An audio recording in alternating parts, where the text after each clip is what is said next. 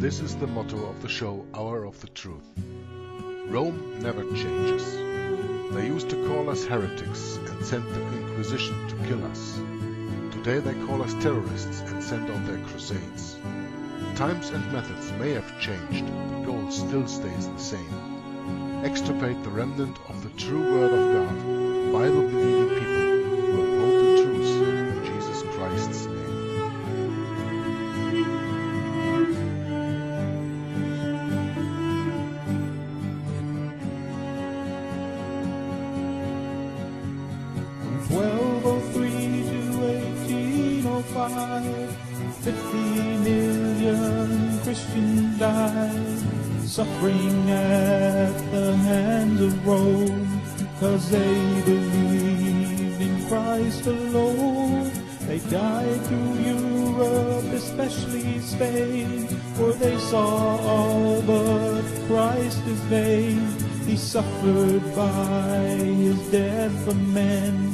save them from their awful sin.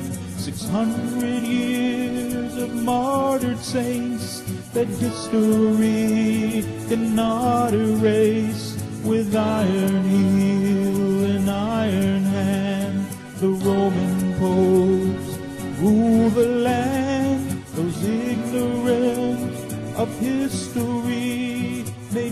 swept into apostasy.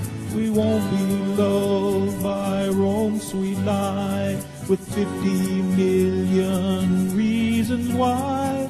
Salvation is by faith alone, in Christ alone, by grace alone. A sovereign God give faith to man. Salvation's in the Maker's hand. This gospel offends Rome today. They offer up another way, a counterfeit, a compromise. Beware the ancient papal lie with such a cloud of witnesses who by grace died in their Lord. Recall their memory to say, by the same faith we live today. Hallo, moin moin und herzlich willkommen zu einem neuen Video von Jörg, Joggler66, Stunde der Wahrheit. Heute nach allzu langer Pause endlich wieder mal ein neuer Teil aus der Geschichte der Inquisition im Mittelalter von Henry Charles Liard, Band 1, Ursprung und Organisation der Inquisition. Teil 35, wie ihr am Titel leicht erkennen könnt. Und ähm, es tut mir ganz furchtbar leid, dass ich so wenig Zeit die letzten Monate im Grunde daran gegeben habe, dieses Buch weiterzulesen, was hier nur der erste von drei Bänden ist, die ich gerne alle drei mit euch besprechen möchte. Aber die Aktualität hat halt so viele andere Dinge hochgeholt, dass es manchmal eben sehr schwer ist, dann seine alten Dinge fortzusetzen. Aber ich habe jetzt nächste Woche knapp 14 Tage Urlaub und ich habe mir vorgenommen, in der ganzen Zeit die ganzen Dinge, die in der Luft hängen, anzunehmen. Also zum Beispiel auch das Papier von, äh, was mir Renate übersetzt hatte, von Richard Bennett, Vatikanische Kontrolle durch das Zivilgesetz, endlich zu lesen, dann ähm, 38 Zeugen fertigzustellen und ähm, auch andere Dinge in Angriff zu nehmen und natürlich die moderne Kriegeserie mit Gerald weiterzusetzen. Aber schlussendlich darf man ein Ding nicht vergessen, die Inquisition, das, was ich hier jetzt in den vorherigen 34 Teilen bereits in diesem Buch besprochen habe, ist im Grunde das, was mich damals in der Schule bereits, ja, wie soll ich das sagen, so schwer beeindruckt hat, dass ich sagte von, wie kann es eine solche Geschichte der Kirche geben und die Leute gehen immer noch in die Kirche. Ich verstehe es einfach nicht. Ich verstehe es bis heute nicht. Nur was ich heute verstehe ist, und das ist der Unterschied zu damals, dass die römisch-katholische Kirche kein Christentum ist. Und dass uns das natürlich total falsch gelehrt wurde. Heute wird in den Lehren einfach nur gesagt von, ja, aber das war das dunkle Mittelalter, das tun wir heute nicht mehr. Ja, diese Folterungen und diese Morde und sowas. Die Bibel sagt aber, ähm, dass es nichts Neues unter der Sonne gibt. Also das, was heute passiert, ist dasselbe, wie es damals passiert ist. Es wird nur in andere Sachen eingepackt. Es wird anders verpackt. Und wenn sie damals im 12. und 13. und 14. Jahrhundert die Kreuzzüge gemacht hatten, also 11. 12. und 13. Jahrhundert die Kreuzzüge gemacht haben, ähm, dann machen sie die heute auch noch. Nur heute verpacken sie sie anders. Heute nennen sie es anders. Aber es ist im Grunde immer noch dasselbe. George W. Bush hat sich ja damals sehr schön versprochen, als er sagte, ähm, dieser Kreuzzug wird einige Zeit dauern. Der Krieg gegen die Terroristen nach dem, 9, nach dem 11. September 2001. Das Video kennt ja jeder oder sollte jeder kennen wie Bush sich da zwischen Anführungszeichen versprochen hat. Wobei ich meine, dass das kein ähm, wirklicher Ausrutscher war. Ich meine, das war geskriptet, dass er sich zwischen Anführungszeichen versprochen hat. Aber jedenfalls hat das, was ich damals in der Schule als Kind gelernt habe über die Inquisition, mich so beeindruckt, dass ich gesagt habe, ähm, da möchte ich mal mehr drüber lesen. Und deswegen habe ich angefangen, diese Buchlesung zu machen und gerade jetzt eben auch im Licht der Bibel erscheint das alles ja in einem ganz anderen Lichte. Ja, eben im Licht der Bibel, im Licht der Wahrheit. Und das ist auch noch mit vielen anderen Dingen so. Das ist zum Beispiel auch mit Dingen so wie ähm, dem Holocaust. Das war genau dasselbe. Haben sie mir auch in der Schule beigebracht, äh, wie furchtbar doch die Deutschen waren mit der Vernichtung der Juden im, äh, im, im Dritten Reich. Und ich habe mich dann nur umgeschaut und habe meine Oma gesehen und ihre Altersgenossen in der Zeit und haben gesagt von, und die Leute sollen das alles so gemacht haben? Das kann ich mir gar nicht vorstellen. Da muss irgendwie mehr dahinter stecken. Und heute weiß ich, welche Agenda hinter dem Holocaust gesteckt hat und dahinter steckt. Und da werde ich in der Zukunft auch Videos drüber machen. Das nagt auch schon eine ganze Zeit an mir. Und wie gesagt, ähm, das Inquisitionsthema nagt seit Jahren, Jahren, Jahren an mir. Das Holocaust-Thema nagt seit Jahren, Jahren, Jahren an mir. Und ich werde es jetzt in Angriff nehmen. Es wird Zeit die Zeit ist reif, möchte ich mal sagen. so ungefähr. Nun, wir sind also jetzt, wie gesagt, heute im ersten Band Ursprung und Organisation der Inquisition. Wir sind immer noch im siebten Kapitel. Wir haben bis jetzt in diesem Kapitel gesehen die Unsicherheit bei der Entdeckung und Bestrafung der Ketzer, Entwicklung der bischöflichen Jurisdiktion, das Verfahren an den bischöflichen Gerichtshöfen, das Inquisitionsverfahren, das Untersuchungsverfahren, ähm, das Edikt Antichrist Gregors XI. vom Jahre 1231 mit dem Versuch der Gründung einer weltlichen Inquisition, Versuch zur Einführung der päpstlichen Inquisition, die bischöflichen Befugnisse bleiben bestehen, Übertragung der Inquisitionsbefugnisse auf die Dominikaner, und da bin ich dann auch darauf eingegangen, dass das dann im 16. Jahrhundert von den Jesuiten, dass da die Dominikaner zwischen Anführungszeichen abgelöst wurden. Die Jesuiten haben sich die Inquisition auf ihre Fahne geschrieben, die es heute ja immer noch gibt, und das ist eben der Grund eben auch für diese Lesung. Das nennt sich nur die Kongregation der Glaubenslehre ne? in der römisch-katholischen Kirche. Die den Inquisitoren, äh, den die den Inquisitoren übertragenen Machtbefugnisse in Italien, Frankreich und in Aragon, Aufhebung der entgegenstehenden Gesetze, fruchtlose Rivalität der Bischöfe. Das sind alles Dinge, die haben wir besprochen. Jetzt gehen wir heute zum Abschluss in dem vierten Kapitel in die letzten paar Seiten. Wir beginnen auf Seite 404. Das wird also von daher auch nicht eine allzu lange Lesung, sondern ähm, das geht von äh, Seite 406, Entschuldigung, 406 oben, wo wir anfangen, bis auf die Mitte von Seite 412. Damit wird das siebte Kapitel heute abgeschlossen. Danach geht es in das achte Kapitel. Das siebte Kapitel hieß also die Gründung der Inquisition. Das achte heißt die Organisation der Inquisition. Erst muss man etwas gründen und dann kann man es organisieren. Das ist genau wie mit dem ähm, Sitz des Antichristen. Ja? Der musste auch erst gegründet werden und dann musste er organisiert werden. Aber das ist ein anderes Thema, da komme ich ein anderes Mal drauf zu sprechen, wie sich das ausgewirkt hat. Wir hatten letztes Mal aufgehört, wie gesagt, auf Seite 406 äh, oben. Ich lese nochmal eben den letzten Absatz, da muss ich nochmal eben auf Seite 405 runter. Da steht noch einmal, ne, wir sprechen hier im Prozess gegen den Meister Eckhart in Köln, noch einmal hatte die alte Ordnung über die neue triumphiert. Die bischöfliche Jurisdiktion wurde bestätigt, denn man erklärte, dass Eckharts Ketzerei sowohl durch die von dem Erzbischof Kraft seiner gewöhnlichen Amtsgewalt abgehaltene, als auch durch die später auf Befehl des Papstes in Avignon angestellte Untersuchung bewiesen worden sei. Die Entscheidung war umso bedeutungsvoller, als Antichrist Johannes der 22. damals allen Grund hatte, die Dominikaner zu beschwichtigen, da er in einem tödlichen Streit nicht nur mit Ludwig dem Bayer, sondern auch mit der ganzen puritanischen Richtung unter den Franziskanern verwickelt war. Dann gingen wir noch ausführlich in die Fußnote Nummer 1 ein, die ich jetzt nicht wiederhole, das könnt ihr euch in der letzten Sendung nochmal anschauen. Danach hatte ich dann die Lesung abgeschlossen und jetzt fahren wir hier auf Seite 406 im ersten vollen Absatz fort. Da, da steht geschrieben, die bischöfliche Inquisition war somit als ein Teil der anerkannten Organisation der Kirche ordnungsgemäß wiederhergestellt.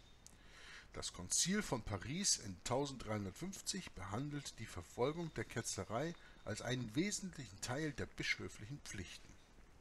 Es gibt den Ordinarien Anweisung hinsichtlich ihrer Befugnis zu verhaften und den Beistand der weltlichen Beamten anzurufen, genau in denselben Ausdrücken, wie die Inquisition es tun konnte. Ein Breve, ein, ein Brief, ne? eine Breve ist eine ähm, päpstliche Anordnung, eine schwächere als eine Bulle, aber immer noch sehr kräftige Anordnung, eine Breve Antichrist Urbans V. aus dem Jahre 1363 bestimmt bezüglich eines Ritters und fünf der Ketzerei angeklagter Edelleute, die damals von dem Bischof von Carcassonne gefangen gehalten wurden, sie sollten von dem Bischof oder dem Inquisitor oder von beiden gemeinsam verhört und das Resultat der päpstlichen Kurie mitgeteilt werden.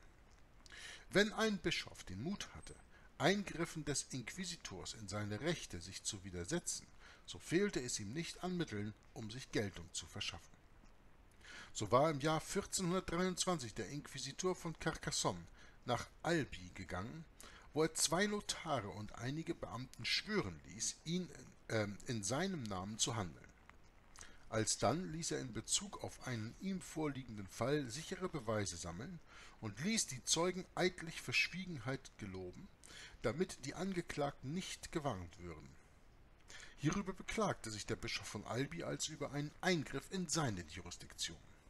Er behauptete, dass die Verteidigung der Beamten nur in Gegenwart des Ordinarius oder seines Bevollmächtigten hätte vorgenommen werden dürfen.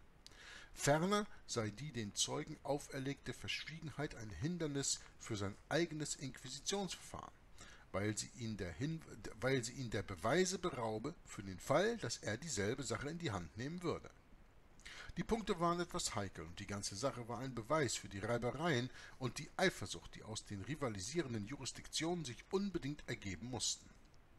Im vorliegenden Falle wurde zur Vermeidung unziemlichen Streits der Bischof von Carcassonne zum Schiedsrichter gewählt. Der Inquisitor erkannte sein Unrecht an und annullierte seine Maßnahmen und über das getroffene Übereinkommen wurde eine, wurde eine öffentliche Urkunde aufgesetzt. Trotz dieser unvermeidlichen Kämpfe wurde schließlich für die Praxis ein Modus vivendi aufgestellt. Americus, der um 1375 schrieb, lässt fast immer den Bischof gemeinsam mit dem Inquisitor handeln, und zwar nicht nur beim Schlussurteil, sondern auch schon beim Prozessverfahren. Er sucht offenbar die Sache so darzustellen, als ob die beiden Gewalten einträchtig auf ein gemeinsames Ziel hinarbeiten und als ob die Inquisition in keiner Weise die bischöfliche Jurisdiktion verdrängte oder den Bischof von der mit seinem Amte verbundenen Verantwortlichkeit befreite. Als ein Jahrhundert später Heinrich ins als ein Jahrhundert später Heinrich Institoris die Jurisdiktion der Inquisition vom Standpunkte des Inquisitors erörterte, machte er es ebenso. Die den Inquisitoren ausgestellten Mandate erhielten gewöhnlich eine Klausel des Inhalts, dass ein Eingriff in die inquisitorische Jurisdiktion der Ordinarien nicht beabsichtigt sei. Bei der gewöhnlichen Nachlässigkeit der bischöflichen Beamten wurde Interessen wurde indessen den Inquisitoren die Überschreitung ihrer Befugnisse nicht schwer gemacht, und so dauerten die Klagen über die Eingriffe fort bis zum Vorabende der Reformation.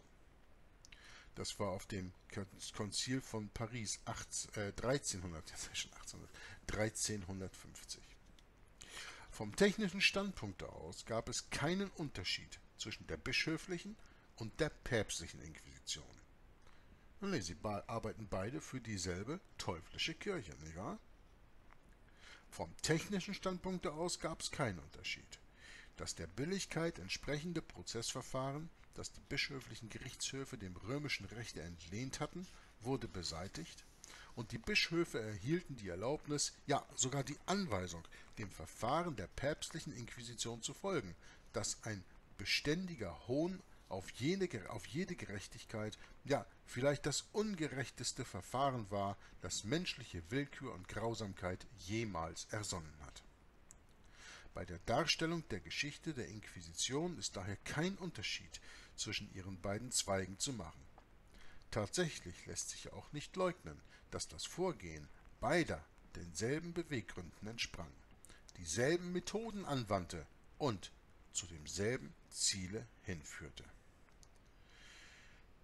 In einer Fußnote steht hier, siehe den Modus examinandi hereticos, ausgedrückt von Gretzer, der für seine deutsche bischöfliche Inquisition, der für eine deutsche bischöfliche Inquisition verfasst ist. Ne? Also in Deutschland gab es auch eine Inquisition, nur nicht so, sage ich jetzt mal, heftig wie im südlichen Europa. Also Spanien, Italien, Frankreich, um jetzt mal eben die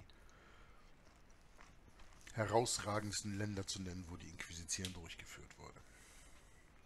Die päpstliche Inquisition war jedoch ein unendlich wirksameres Werkzeug zur Lösung der gestellten Aufgabe als die bischöfliche. Wie eifrig auch ein bischöflicher Beamter sein mochte, so waren doch seine Bemühungen notwendigerweise nur vereinzelte, vorübergehende, zeitweilige Bemühungen. Die päpstliche Inquisition dagegen bildete auf dem ganzen Kontinent eine einzige Kette von Gerichtshöfen, die beständig in Tätigkeit waren und von Menschen verwaltet wurden, welche gar keine andere Beschäftigung hatten.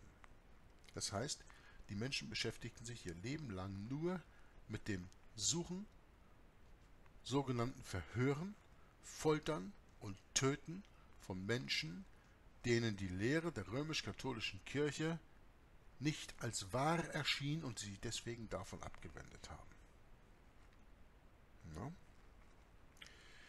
Sie wirkte nicht nur ununterbrochen, sondern sie wirkte auch überall. Durch den beständigen Austausch ihrer Urkunden, durch das beständige Hand-in-Hand-Arbeiten überzog sie die Christenheit mit einem Netze, das einen drinnen fast hoffnungslos machte und dem Ketzer jede Aussicht auf Sicherheit raubte.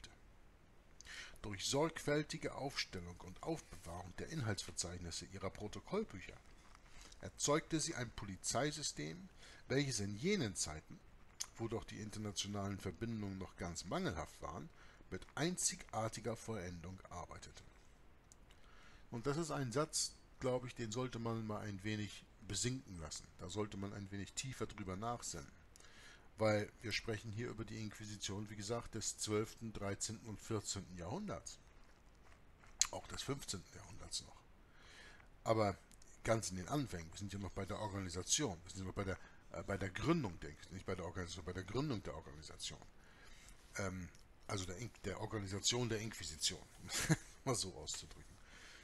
Ähm, der letzte Satz, wenn man sich den nochmal durchdenkt und dann überlegt, was das heute bedeutet, in der Zeit, in der wir heute leben, dann kann einem normalerweise einem normalen Menschen Angst und Bange werden. Uns Christen wird nicht Angst und Bange, weil wir nicht denjenigen fürchten, der unsere, unseren Körper hier auf dieser Erde, sondern denjenigen, der Körper und Seele in der Hölle vernichten kann. Matthäus 10, 28. Aber der Satz sagt ganz deutlich, dass die Anfänge von dem, was wir heute als Polizei und Überwachungsstaat erleben, hier im Grunde mit der Inquisition damals schon ausgeführt wurde. Nur damals hatten sie noch nicht die technischen Mittel, die sie heute haben.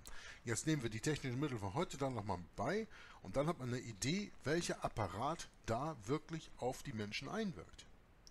Lesen wir jetzt nochmal durch sorgfältige Aufstellung und Aufbewahrung der Inhaltsverzeichnisse ihrer Protokollbücher. Das ist ja heute ganz leicht. heute werden Protokollbücher erstellt, teilweise dadurch, dass man eben das gesprochene Wort nimmt, es in Schrift umsetzt oder gar nicht mehr machen muss, sondern halt die Audiodateien bewahrt. Audiodateien, Filmdateien, die man heutzutage alle hat. Na? Das sind die Protokollbücher.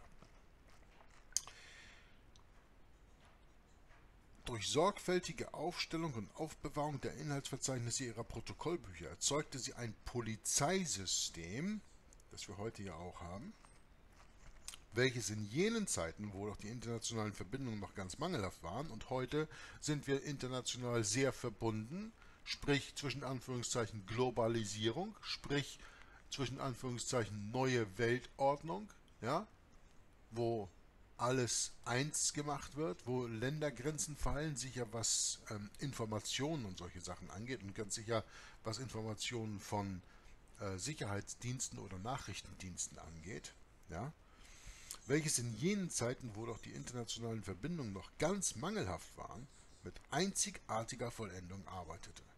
Das hat's damals schon. Wir sprechen hier von vor 600 Jahren. Und in der Zwischenzeit ist das System nicht stillgestanden. Das System hat sich immer weiterentwickelt und nutzt jede neue technische Entwicklung zur Perfektionierung.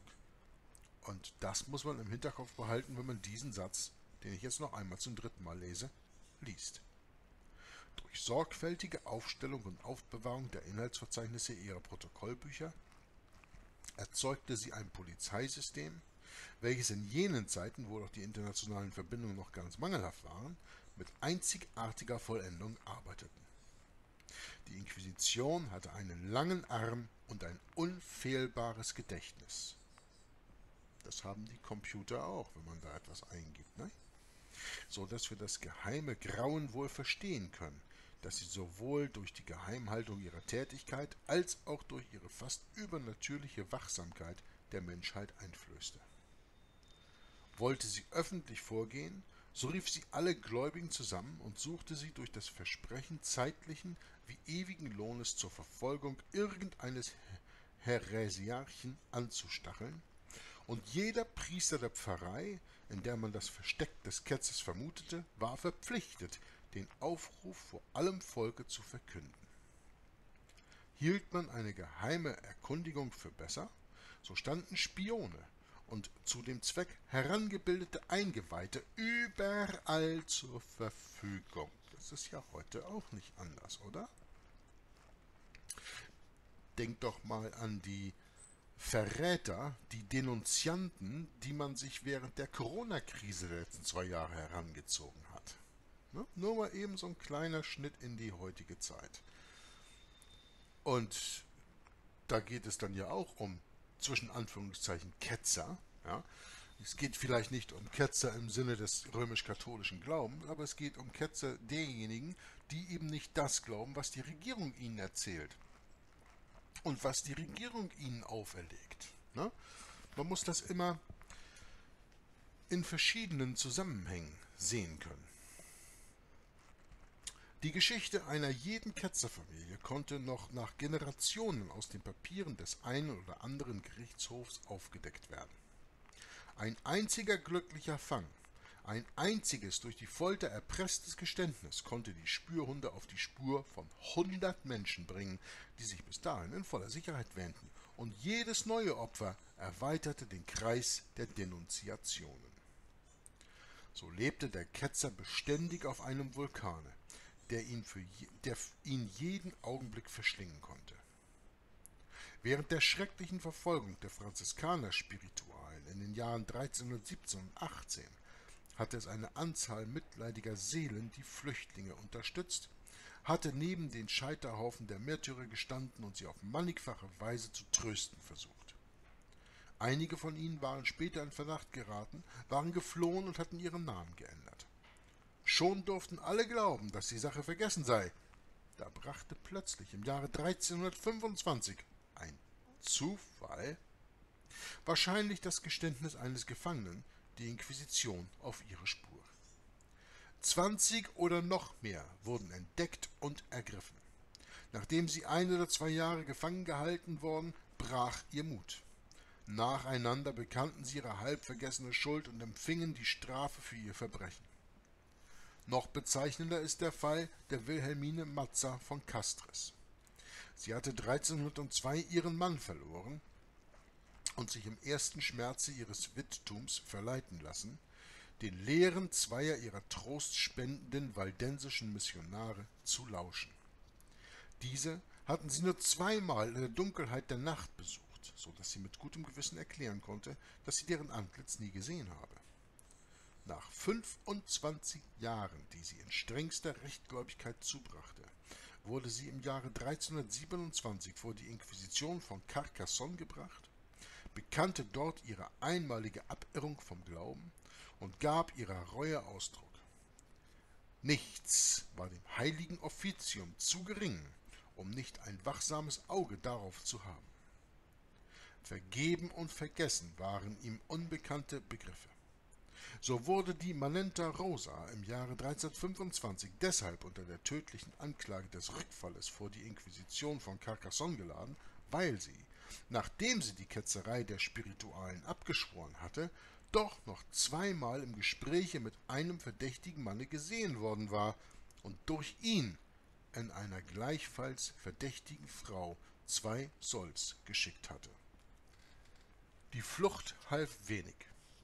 Beschreibungen entwischter Ketzer wurden in ganz Europa herumgesandt, an jeden Ort, wo sie vermutlich hatten Zuflucht, Zuflucht finden können, und die Behörden wurden aufgefordert, auf jeden Fremden zu fahnden, der sich in seiner Lebenshaltung und seiner Sprache von den übrigen Gläubigen unterschied. Na, nun nehmen wir das nochmal über ins, ins 21. Jahrhundert, ins Jahr 2022 und schauen mal eben nach China, wie das geht, wie die Leute dort überwacht werden mit Kameras und allem drum und dran, ähm, von wegen, wo man hätte Zuflucht finden können. Und äh, die Behörden wurden aufgefordert, einen, auf jeden Fremden zu fahnen, der sich in seiner Lebenshaltung und seiner Sprache von den übrigen Gläubigen unterschied. Jetzt überlegt euch mal, wie sie das heutzutage machen mit den technischen Mitteln und der Überwachung, die wir heute im 21. Jahrhundert haben. Das war mein Punkt. Die Nachricht von dem Fange wurde alsdann von einem Gerichtshofe zum anderen gemeldet und der Beweis der Schuld geliefert oder das unglückliche Opfer an den Ort zurückgebracht, wo das ihm ausgepresste Bekenntnis am wirksamsten verwertet werden konnte, um auch noch andere ins Verderben zu ziehen.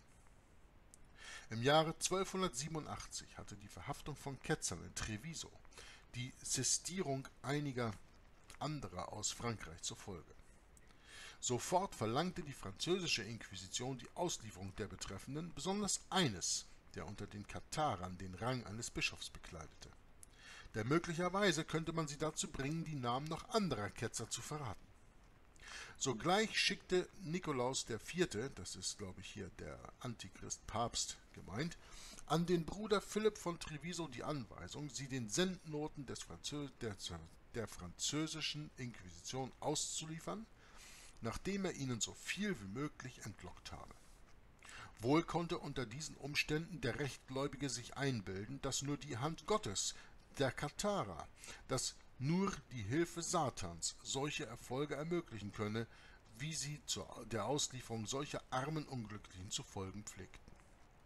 Für die menschliche Furcht war die päpstliche Inquisition fast allgegenwärtig, allwissend und allmächtig.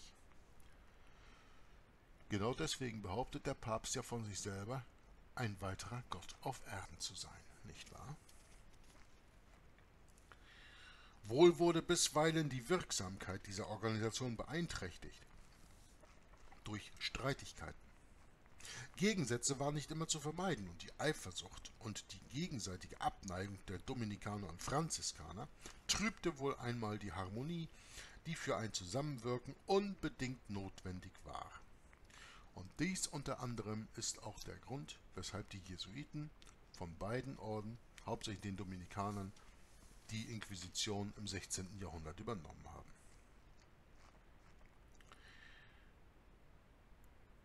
Es wurde schon auf die Unruhen hingewiesen, die aus diesem Grunde 1266 zu Marseille und 1291 zu Verona entstanden. Ein weiteres Zeichen mangelnder Einigkeit findet man im Jahre 1327, wo Peter Trencavel, ein bekannter Spiritual, der aus dem Gefängnis zu Carcassonne entkommen war, in der Provence mit seiner gleichfalls flüchtigen Tochter ergriffen wurde. Es konnte keine Frage sein, dass sie vor denjenigen Gerichtshof gehörten, dem sie sich durch die Flucht entzogen hatten. Allein der Franziskaner-Inquisitor der Provence, Bruder Michael, verweigerte ihre Auslieferung und der Gerichtshof von Carcassonne musste sich an Antichrist Johann den 22. wenden, der dem Bruder Michael den präemptorischen Befehl erteilte, sofort jeden Widerstand aufzugeben und die Gefangenen auszuliefern. Immerhin scheinen in Anbetracht der Unvollkommenheit der menschlichen Natur derartige Streitigkeiten ziemlich selten gewesen zu sein. Um eine so unendliche wirksame Organisation, von der das Leben und Schicksal von Millionen abhängen, richtig zu lenken und zu leiten, hätte es einer übermenschlichen Weisheit und Tugend bedurft. Es ist nicht uninteressant, sich einmal das Idealbild eines vollkommenen Inquisitors vor Augen zu führen, wie es die sich, ausmal, wie es, wie es die sich ausmalten, denen die Geschäfte Heil, des heiligen Offiziums anvertraut waren. Bernhard Guidonis, der erfahrenste Inquisitor der Zeit um das Jahr 1320, schließt seine ausführlichen Anweisungen über das Inquisitionsverfahren mit einigen allgemeinen Bemerkungen über das Verhalten und den Charakter des Inquisitors. Der Inquisitor, so meint er, also der Bernhard Guidonis, der Inquisitor müsse fleißig und glühend sein in seinem Eifer für die religiösen Wahrheiten. für die religiösen Wahrheiten der römisch-katholischen Kirche, die keine Wahrheiten sind, weil sie ist aufgebaut auf den Vater der Lügen. Füge ich mal dazu. Na?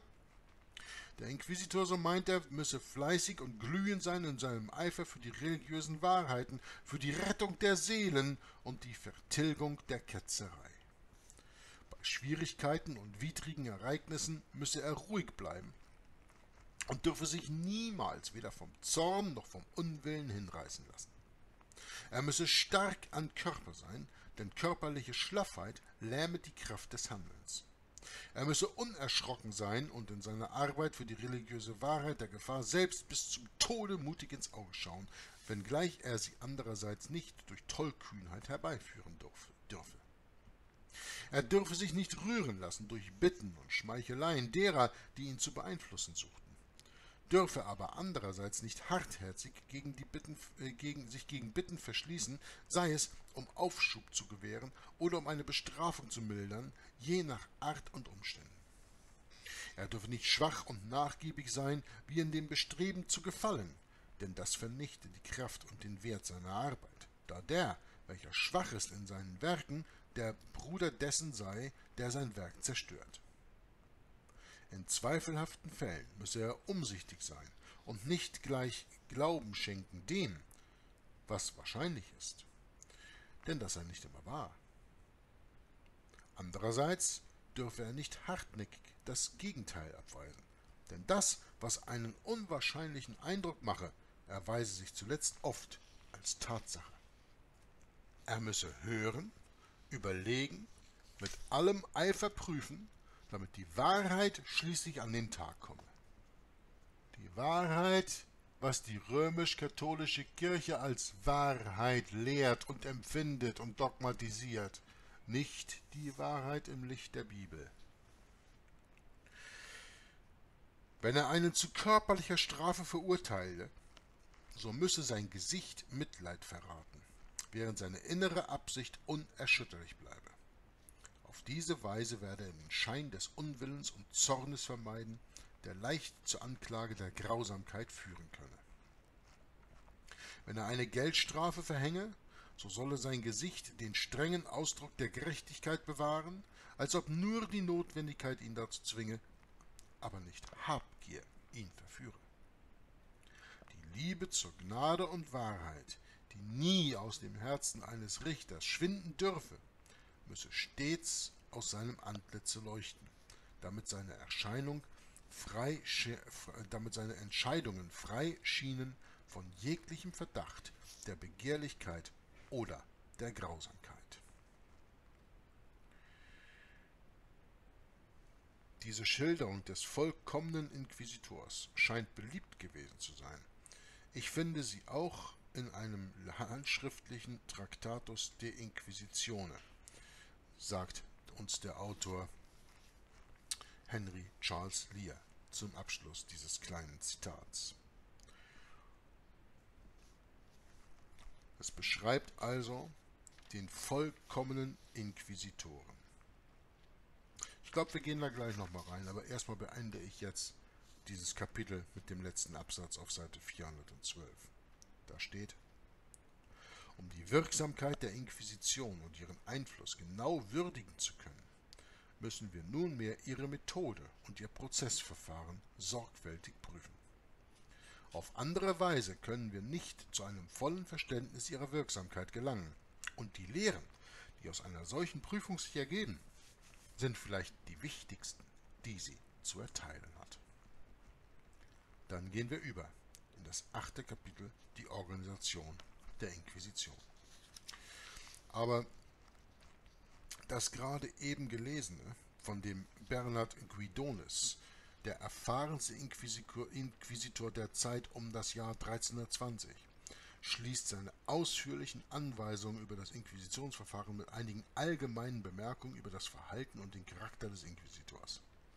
Was er hier über, darüber gesagt hat, was das für Menschen sein müssen und wie diese Menschen agieren müssen, ich finde, das sieht man eigentlich ganz wunderbar in den Schauspielern ausgedrückt, die in dem Film Luther von 2004, den ich ja oftmals empfehle, sich anzuschauen, äh, wie die da aussehen. Wenn man sich da den, ähm, den Kardinal anguckt, der hinter Luther hier ist, wenn man sich da den Papst anguckt, ja, der ist ein bisschen treublöd, den nehme ich jetzt nicht mal, aber die Leute, vor denen Martin Luther dort erscheint, die Gesichtsausdrücke von denen, diese, diese Selbstgerechtigkeit und diese Selbstgefälligkeit, das ist genau das, was hier beschrieben steht, wo man eben ganz vorsichtig mit sein muss, dass eben ähm, man eine Geldbuße erlässt eben wegen der schlechten Tat und nicht deswegen, weil man gierig ist auf das Geld.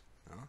Was im Grunde ja der Fall ist, denn die römisch-katholische Kirche läuft immer nur dem Geld hinterher. Die römisch-katholische Kirche ist die Kirche des Mammons. Aber gehen wir nochmal eben in die Charakterbeschreibung des sogenannten ähm,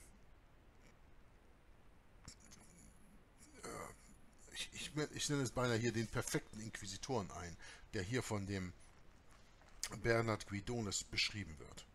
Lesen wir das nochmal und lassen wir uns Dinge mal ein wenig einsinken, was für Menschen das sein müssen. Und natürlich berücksichtigen wir dabei, wie diese Menschen eben auch erzogen wurden, wie sie ausgebildet wurden, wie sie indoktriniert wurden durch die Schulen, die sie besucht haben, die Seminare, die sie besucht haben, die Studien, die sie gemacht haben und natürlich auch die Kirchenlehren, die in sie einindoktriniert wurden.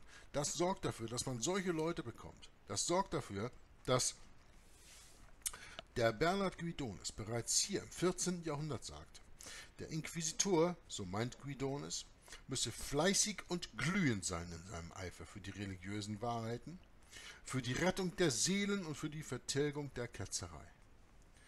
Und das Problem ist, dass er muss davon überzeugt sein, dass er es dafür macht. Wenn er aber im Sinne der Bibel handeln würde, wenn er wirklich Christusartig handeln würde, dann könnte er gar nicht so handeln, wie die Kirche es ihm vorschreibt. Aber er wird hier indoktriniert auf eine Art und Weise, dass er meint, er sei der perfekte Inquisitor, weil er Dinge tut, die absolut unbiblisch sind, die absolut unchristlich sind. Ja? Fleißig und glühend, das muss ein jeder Christ sein. Aber in seinem Eifer für die religiösen Wahrheiten, die dann auch wirkliche Wahrheiten sind, wenn man sie gegen die Bibel hält und nicht nur gegen die Traditionen und Lehren und Dogmen der römisch-katholischen Kirche. Für die Rettung der Seelen, ja in diesem Fall, da ist die römisch-katholische Kirche angeht, geht es nicht darum, die Seelen zu retten, sondern die Seelen in die Verdammnis zu stürzen und die Vertilgung der Ketzerei.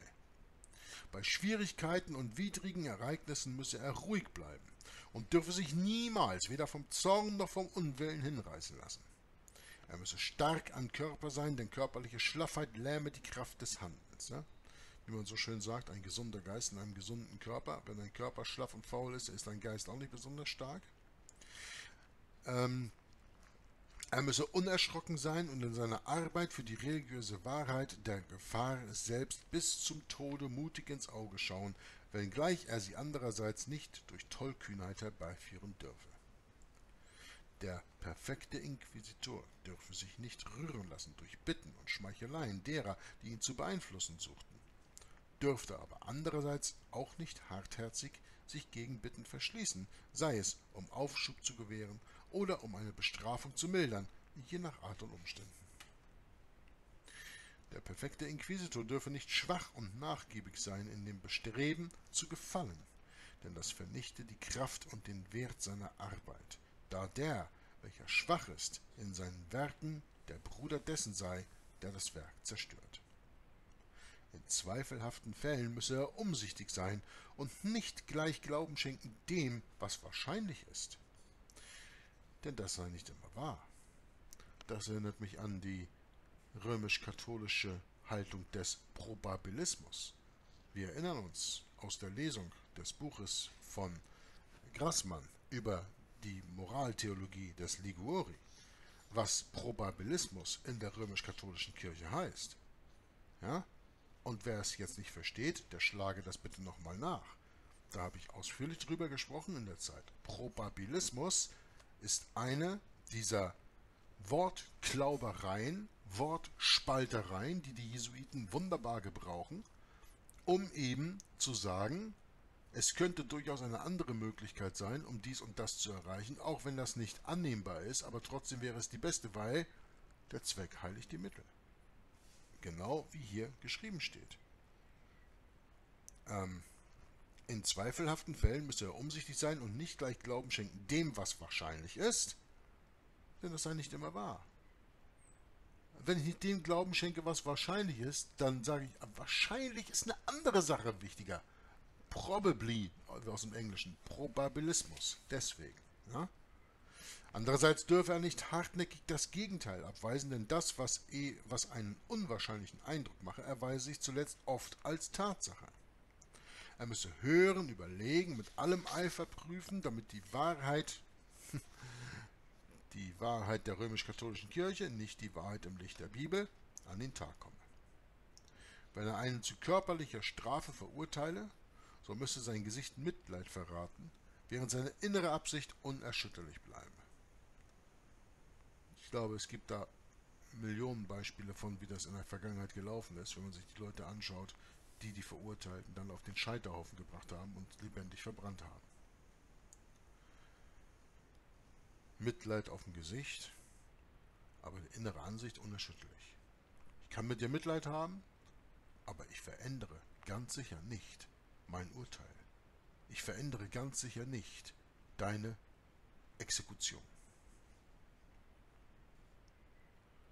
Auf diese Weise werde er den Anschein des Unwillens und Zornes vermeiden, der leicht zur Anklage der Grausamkeit führen könnte, nach dem Motto, wenn aus dem Gesichtsausdruck dann auch noch zu lesen wäre, er hätte Freude an dem Leiden desjenigen, der dort exekutiert, hingerichtet wird. Wenn er eine Geldstrafe verhänge, so solle sein Gesicht den strengen Ausdruck der Gerechtigkeit bewahren, als ob nur die Notwendigkeit ihn dazu zwinge, aber nicht Habgier ihn verführe. Ganz wichtiger Satz von dem Autor. Als ob nur die Notwendigkeit ihn dazu zwinge, aber nicht Habgier ihn dazu verführe. Damit wissen wir ganz klar, es ist Habgier, die ihn dazu verführt. Nach außen hin verkauft er es als Notwendigkeit. Aber im Inneren seines Herzens denkt er, gib mir, gib mir, gib mir, gib mir. Oder der Kirche.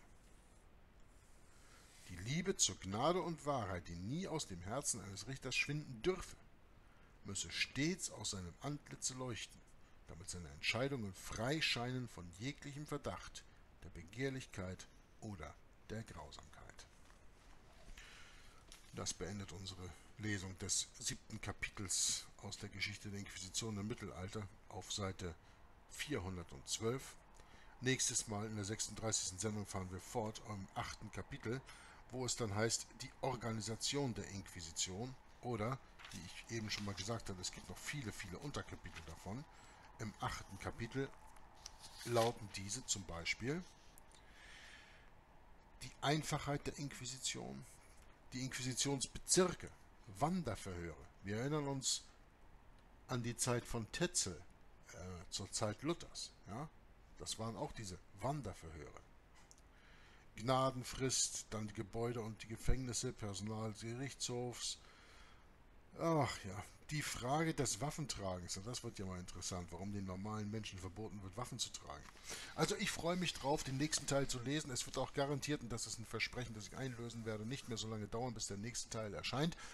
Ich werde das jetzt alles mehr in Angriff nehmen. Ich werde mich selber reorganisieren. Ich werde mehr Lesungen machen, mehr Videos rausbringen und wie gesagt, die angebrochenen Dinge und angesprochenen Dinge alle beendigen innerhalb des nächsten Monats. Das werde ich jetzt ganz dringend in Angriff nehmen und ich habe mich, ähm, ich freue mich immer noch, ich habe mich gefreut, ich freue mich immer noch darüber, dass ich heute diesen 34. Teil, oder also, den, Entschuldigung, den 35. Teil der ähm, Geschichte der Inquisition endlich habe lesen können, dass ich da wieder reinkomme und nächstes Mal gehen wir dann in Kapitel 8, das da, wie gesagt, heißt, die äh, Gründung hatten wir vorher und jetzt kommt die Organisation der Inquisition. Und danach geht es weiter mit dem Professverfahren der Inquisition, die Beweise, die Verteidigung und so weiter. Ja, ihr hört, meine Hunde wollen, dass ich rausgehe und mich um sie kümmere. Das werde ich dann auch tun. Euch noch eine schöne Zeit. Lest eure Bibel oder lest dieses Buch, das ihr gratis herunterladen könnt. Bis zum nächsten Mal. Maranatha. O allmächtiger Herr und Gott, wie gar lieblich sind dein Gebot, über alles Gold so reine du wirst geehrt alleine in deiner heiligen Gemeinde. Dein Wille ist uns offenbar, die Wahrheit leuchtet hell und klar in allen Kreaturen. Gott hat uns auserkoren, dazu noch neu geboren der Himmel und das Firmament uns zeigen die Werke seiner Hand. Wie groß ist seine Ehre Land und auf dem Meere, das wollen die Werke uns lehren.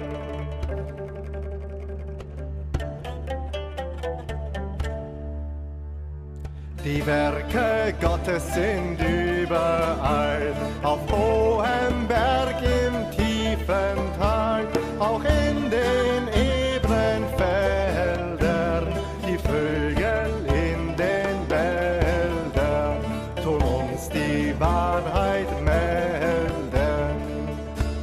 Ein jedes Werk preist unseren Gott, weil er so gut erschaffen der Mensch tut's aber zerbrechen, der Wahrheit widersprechen. Gott wird es an ihm rächen. Die Werke Gottes sind wunderbar, in rechter Ordnung immer da.